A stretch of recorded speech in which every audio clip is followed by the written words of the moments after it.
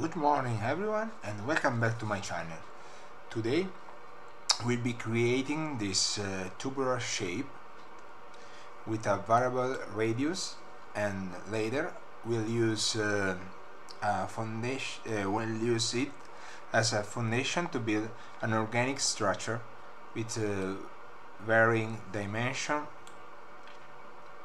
the size of each individual element in the structure will depend on the radius of uh, the base shape at the point uh, where the element is located.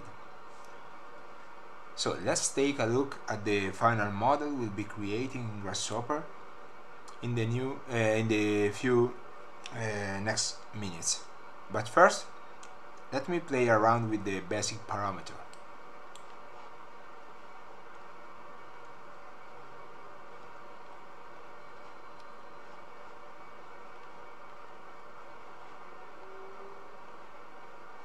With this graph mapper here we can change the dimension of the our uh, overall shape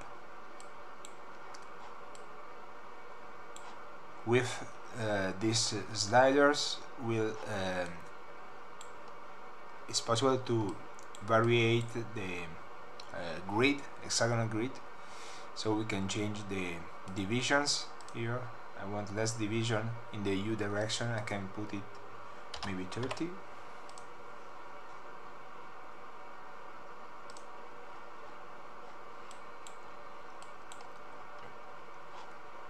and uh, so the same for the blue division. And uh, then here we can use this graph mapper to um, to guide the thickness of uh, um, the structure for example we want to have more um, thick structure uh, for uh, low radius of the overall structure. We can do like this. And uh, so we have a very big structure in these points. And if you want uh, if we want a very thick structure in uh, when the radius is uh, is is big we can simply use uh, increase the slope of this line. And so you can see that here we have a very very very thick structure in this uh, in these points.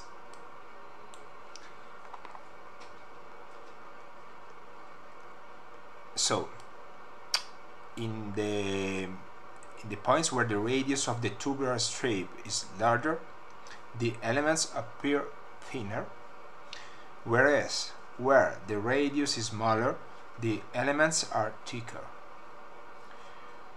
And uh, I almost forgot, to follow along with this tutorial, you need to have Lunchbox installed. If you don't have it yet, you can download it from Food for Rhino. Now we are ready to get started. So, first you draw any curve in Rhino and import it on uh, Grasshopper um, using a curve parameter. Then create a pipe component and assign a radius, for example, in my case, 5.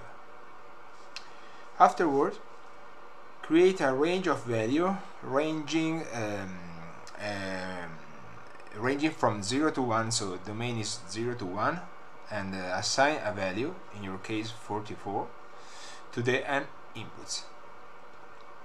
Connect the r outputs of the range to both the x and y um, input uh, uh, of the construction point simple construction point component um, as well as to a graph mapper here the graph mapper uh, will provide you uh, with uh, 44 uh, values corresponding to 44 different radii for your um, variable to, uh, tubular shape.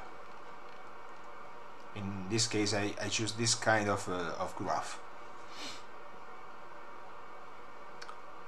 Um, next you can create an amplification coefficient immediately after the gradient to increase uh, or decrease the dimension that come out the graph mapper. To do this, simply multiply the output of your graph mapper by a value uh, defined by a slider. In this case 1.56. So we go back to the pipe shape and um, create a curve component, this component here, that is going to um, allow you to select all the isocurve corresponding to the u and v direction, u and v values that uh, have come out of the range. So the range inside the point component and after the point component inside the isocurve and uh, we want to select the, the um, transversal curve so we only take the curve coming from V so select the transverse isocurve which in my case are uh, those hosted in V. Use the area component to identify the center of each uh, of this curve.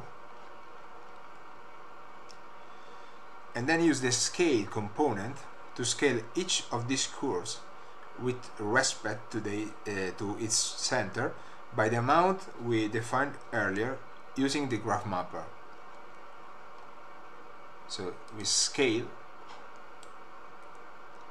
each one of these uh, transverse curves, the curve of uh, a value that is defined by this graph mapper here and by this multiplier here. At the end we have a set of scaled curve. Uh, remember to use flatten on both input of the scale component. Now take the resulting curves and create a lofted surface. This will be our base surface. Now we'll use the hexagonal structure command here from the LunchBox to create a framework above the base shape we just created. Assign a slider, a slider to control the division in the U and the V direction. Now that we have the guidelines for our structure, let's determine how to assign the, assign the thickness to the nodes. Simply uh, take the nodes, use the curve closest point closest point component here. So in this input we have the nodes and this in we have the curve the one uh, we uh, we create uh, we draw we drew in Rhino for clarity. Now uh, take the uh, calculated distance coming uh, from the output of a curve closest, closest point um, and use first bound command and then remap command. Um, um, in this way you remap the distance values and distribute them over a range of uh, uh, a range from 0 to 1 this way you can use the graph mapper this graph mapper here to control the dimension of the nodes in relation to the radius of the main tubular structure. The final step is to apply the multipipe command, assigning the lines. So we are going to assign the lines coming from X uh, as curves, as curves input in a, a multipipe then uh, um, we uh, assign the nodes here as sides point in, um, in multipipe. And then we assign the result of the graph mapper to uh, the node size component. And uh, last operation is to assign a slider here to define the dimension of the structure in relation to the node size after that I made um, um, preview using a material coming from uh, Rhino so a metal material. And um, we can switch to um, render view to see the final result.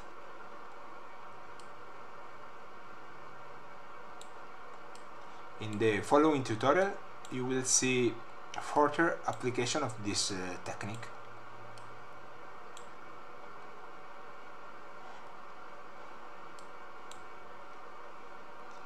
Thanks for watching and uh, remember to uh, like the videos and uh, subscribe the channel if you find this tutorial interesting. Have a nice day.